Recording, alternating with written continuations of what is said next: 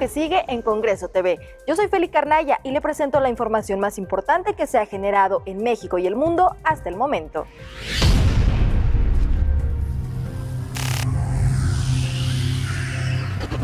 En reunión de conferencia para la programación de los trabajos legislativos, las y los integrantes de la mesa directiva del Congreso de la Ciudad de México y la Junta de Coordinación Política avalaron el orden del día para la sesión de la Comisión Permanente de este miércoles 31 de agosto, la cual será la última del primer año de trabajos legislativos de la segunda legislatura.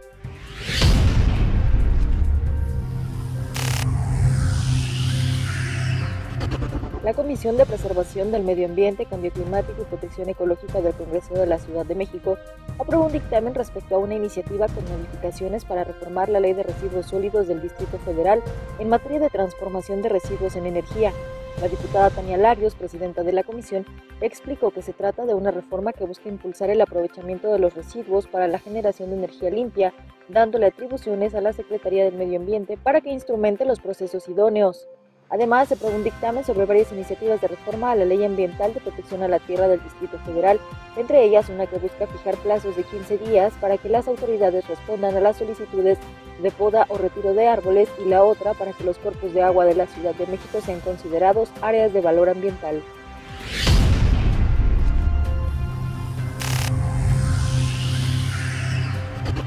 Comisión de Seguridad Ciudadana del Legislativo Local avaló un exhorto al titular de la Secretaría de Seguridad Ciudadana, Omar García Harfuch, para que a través de la Policía Cibernética sean investigadas y eliminadas las páginas fraudulentas en Internet que ofrecen viajes de bajo costo para estafar a usuarios, conocidas como montaviajes, y se informe a la ciudadanía sobre cómo evitar estos engaños. A propuesta del diputado Jorge Gaviño, el exhorto también fue dirigido a la Fiscalía General de Justicia de la Ciudad de México a efecto de que se investigue y persiga a los autores de este tipo de fraudes. También fue aprobado un exhorto para que la Secretaría de Seguridad Ciudadana, en colaboración con la Subsecretaría de Control de Tránsito, intensifiquen los operativos viales a fin de sancionar a los conductores que circulen en los carriles exclusivos confinados o en contraflujo con el objetivo de prevenir accidentes y desahogar la congestión vial en la capital.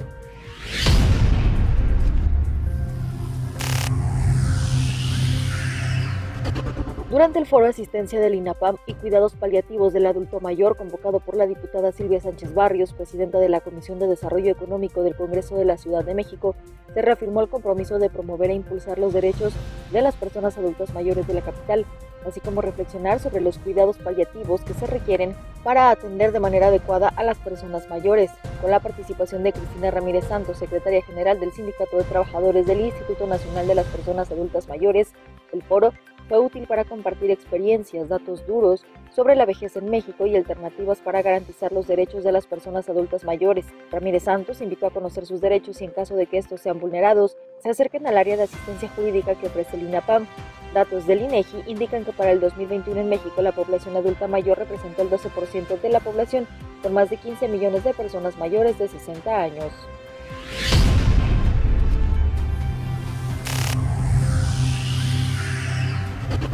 Comisión de Turismo del Congreso de la Ciudad de México aprobó el segundo informe de receso, el segundo informe semestral y el informe anual correspondiente al primer año de actividades legislativas. La diputada Frida Jimena Guillén, quien preside esta comisión, expuso que durante el primer año de actividades legislativas le fueron turnados a la comisión 18 instrumentos legislativos, 9 para emitir dictámenes, uno de opinión, 8 para trabajar en comisiones unidas. Las y los integrantes de la comisión celebraron el trabajo hecho el primer año de trabajos, así como el esfuerzo por generar acuerdos, las mesas de trabajo y foros.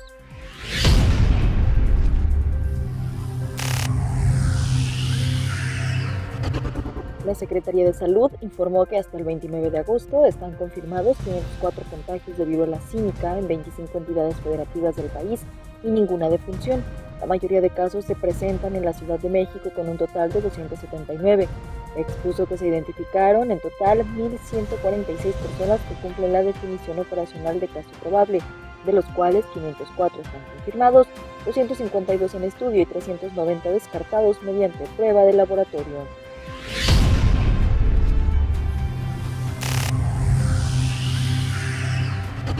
La Secretaría de Salud dio a conocer que este mes de agosto realizó jornadas médicas durante las que prestaron 694 servicios de salud en el Centro Varonil de Reinserción Social Santa Marta Acatitla y el Reclusorio Preventivo Varonil Sur. Se prestó ayuda médica en la primera jornada a 103 personas del Centro Varonil de Reinserción Social Santa Marta Acatitla con servicios como toma de glucosa capilar, tensión arterial, índice de masa corporal, pruebas rápidas de VIH y sífilis, así como pláticas sobre salud dental.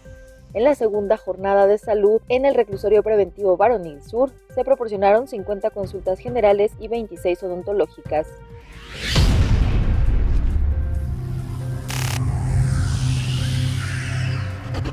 Un total de 1.896 menores de edad desaparecieron en México durante el 2021, dio a conocer este martes la Red por los Derechos de la Infancia en México. Según el reporte, la infancia cuenta en México 2022 cada día desaparecen 14 niñas, niños y adolescentes en el país.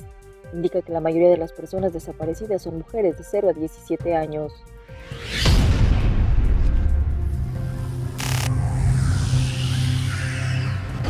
El presidente Andrés Manuel López Obrador defendió este martes su política de subsidiar el precio de las gasolinas porque dijo sin ella el país tendría una inflación por encima del 14% y se había afectado el ingreso de los trabajadores y la población en general, en su matutina dijo que se logró que la inflación en energéticos solo esté en 0.6%, cifra similar a la que tiene Estados Unidos.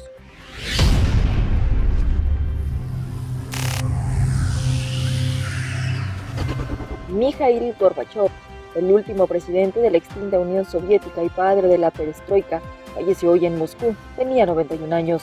Fuentes del Hospital Clínico Central, citadas por la agencia RIA Novosti, confirmaron la muerte del exmandatario como consecuencia de una larga y grave enfermedad que no especificaron. Según la agencia TASS, Gorbachev será enterrado en el cementerio de Novodevichy de Moscú, donde yacen los restos de destacados personajes de la historia de este país. Y se encuentra también la tumba de la esposa de Gorbachev,